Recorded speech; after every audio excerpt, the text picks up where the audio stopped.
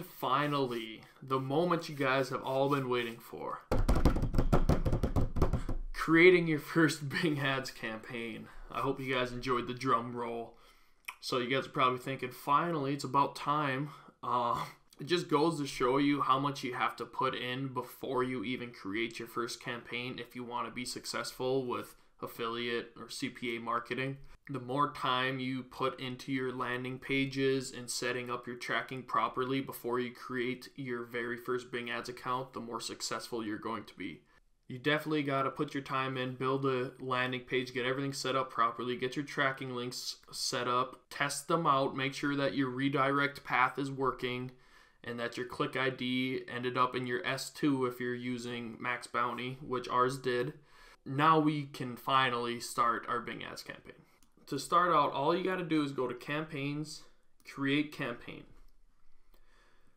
Now they'll have a lot of options for what's the goal of this campaign. Is it visits to your website, your visits to my business locations, conversions on my website, phone calls, dynamic search ads, sell your products? We're going to go visits to our website. And by the way, I made a few minor tweaks to this landing page because I figured I wouldn't have it so plain if uh, since I'm actually going to set up a campaign for it. All I did was added some bullet points. And one thing that I do want to do is copy this sales page link and put it on this image. And all you got to do is paste it right in and then save. So whenever someone clicks the CLA safflower oil image, uh, the same thing will happen if they click the button.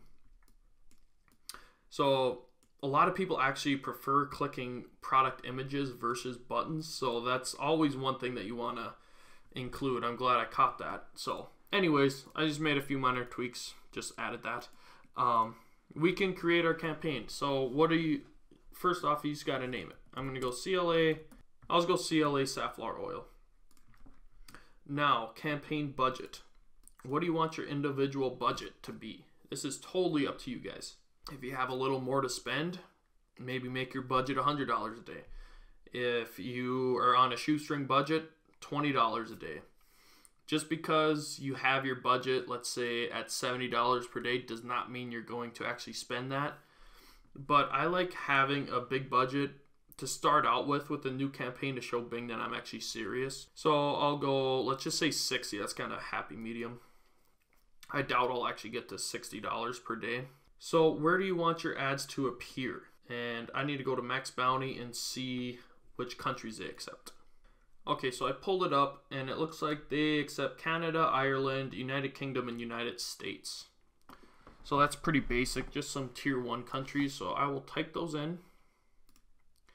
It automatically has it as Canada and US or all available countries. So you have to go let me choose.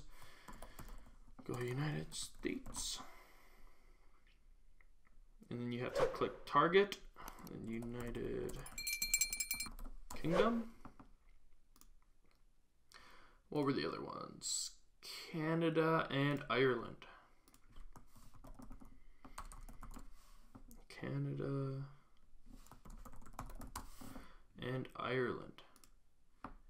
And it's pretty cool. They got this cool little map that you can move around and zoom in and see where you're targeting and whatever and if you want to remove it you can just click on it right here but I don't want to. So next don't overlook this because it says who should see your ad? People in your targeted locations? Yes we only want them from these four countries. Or people searching for or viewing pages about your targeted locations. No we do not want that. Because if someone in Australia is searching for CLA safflower oil in the United States, we don't want that ad to show because if they click on it and they buy it, like we don't get commission for that because it's not allowed. Language, English. Good. Save and go to next step. So as you can see, there's four sections when you're creating your campaign. The campaign settings, we just got done with that. Next, ad groups and keywords. The third one is ads and ad extensions, and then the fourth is budget and bids.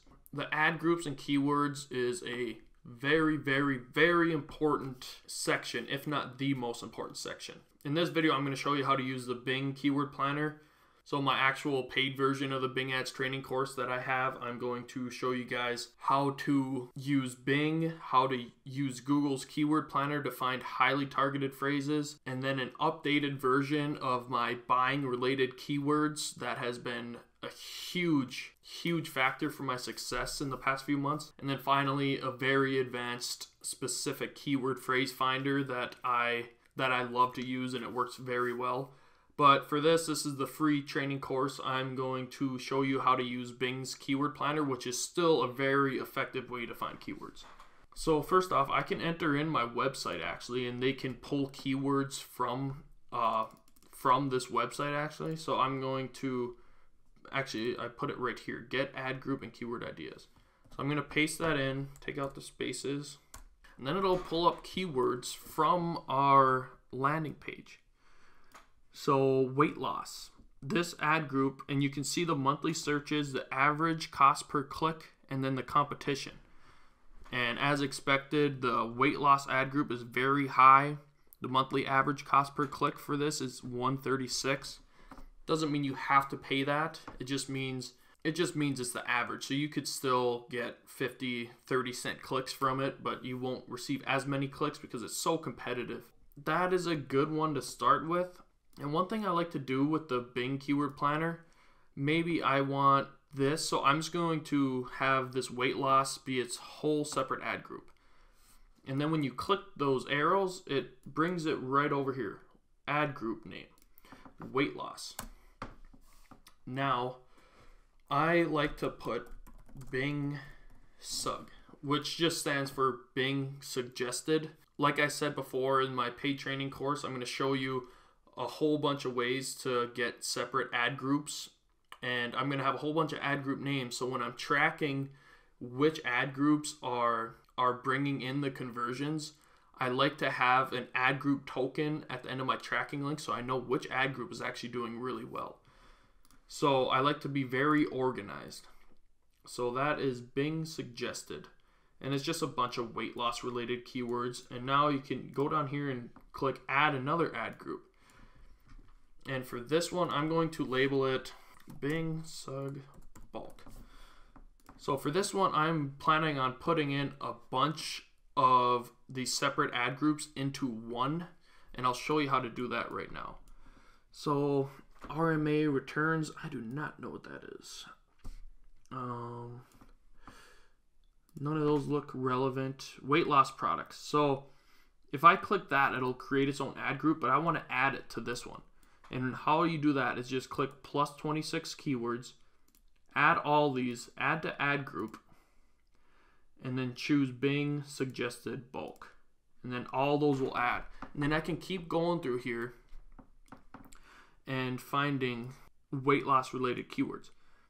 So on page two, the CLA ad group right down here, I can add those as well.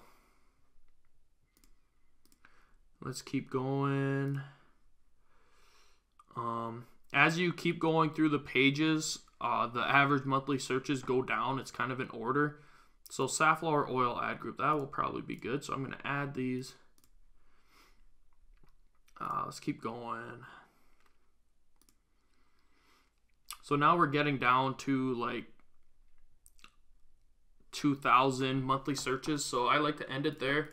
But I'm going to delete that and just type in weight loss because then it kind of brings up different uh, ad sets that I can choose from. Look at this one weight loss ad group 670,000 monthly searches, 288 keywords in here. I'm going to grab all them and I'm going to add it to the bulk. So I think we have a decent amount of keywords in here right now. My plan for the bidding strategy for the bulk ad group, I'm obviously going to have my bid lower because I have way more options to get lower clicks.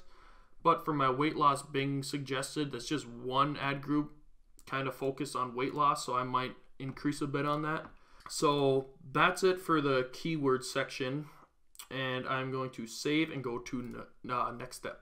And then in the next video, I'm going to show you how to write effective ads and some of the tips and tricks that I've learned throughout my years advertising on Bing that has allowed me to get an increased click through rate writing ads myself. So I will stop the video right here and I will see you guys in the next one. Peace.